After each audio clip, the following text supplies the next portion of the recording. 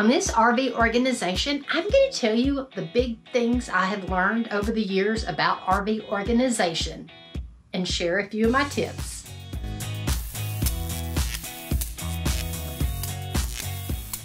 Today I am braving the heat.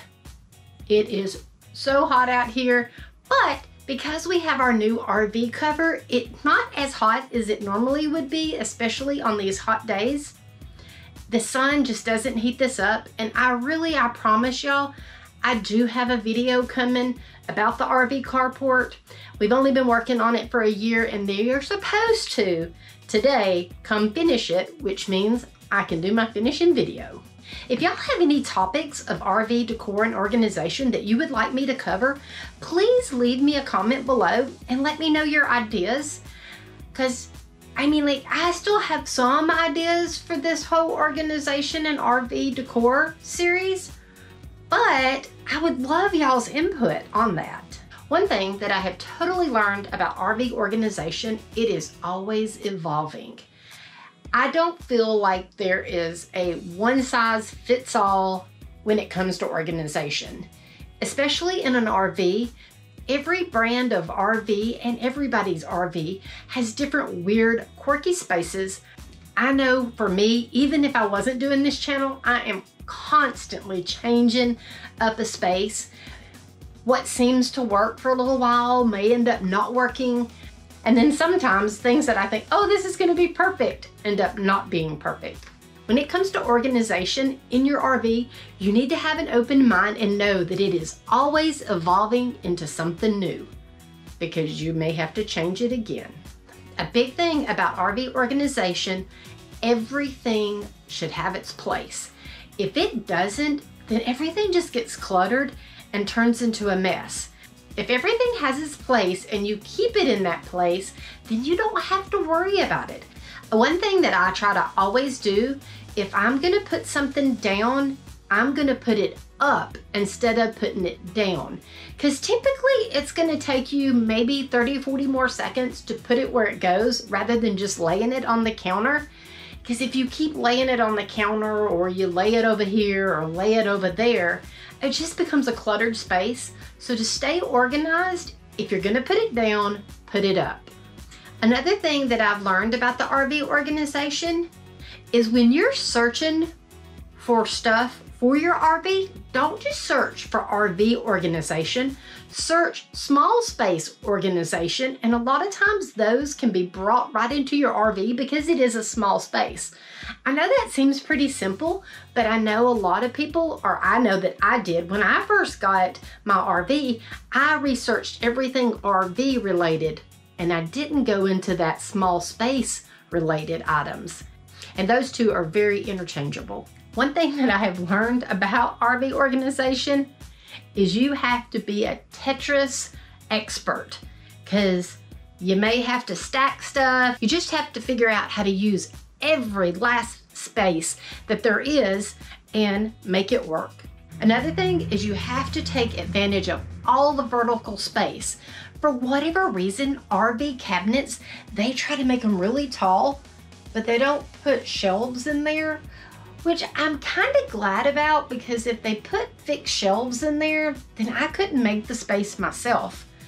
I love getting stackable shelving for the spacers to be able to make that vertical space into what I need but that is a big thing in RVs is there is a lot of wasted vertical space, but if you do it right, you can make it perfect.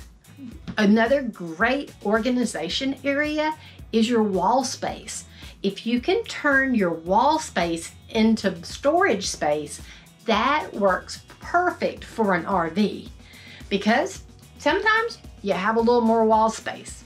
Now I like mine for decor but I do have a few places on my walls that I have turned into organization rather than it just being decor. Some places I've even got organization that is decor. Another thing that I have learned about organization in the RV that requires modifications. Like I added these shelves on each side of the mirror to add more organization space in the bathroom because the bathroom is super small and sometimes you don't have all the space that you need. RV has such weird spaces, like this cabinet here in the bathroom. It is super deep and it was impossible to get the things in the back. So I added a bucket and behind the bucket, I added pull out shelves so I could pull whatever is back there to me so I didn't end up having to stick my whole body in there and dig for it. And even on this, I had to think outside the box. The shelves that I picked out fit perfectly in the space, but you couldn't put them together and then put them in the space. They wouldn't work that way. So I had to put them together inside the cabinet, but they worked perfect.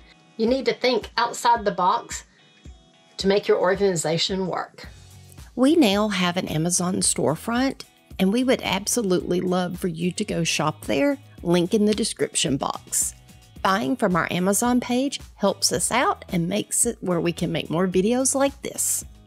I will put a link to my playlist of my RV organization videos because I have a lot of those on this channel. I organized my closet in a video several months back and I absolutely love how it turned out and it's been staying organized which makes me happy that it is working so well and we'll really see when we live in it a little bit more full time during the hunting season. There's a lot of dark hidden places in your RV which doesn't help you stay organized if you can't see the space, but that doesn't have to be expensive either. I added these Dollar Tree lights in the back of the closet and that works perfect to lighten that space and I have several of them all through the camper to make those dark spaces seem brighter.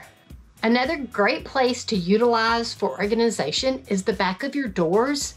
This is wasted space and I took this here, a bunch of Dollar Tree items and made my spice rack on the inside of the door with a bag rack and I love this mod that I did and it was super cheap.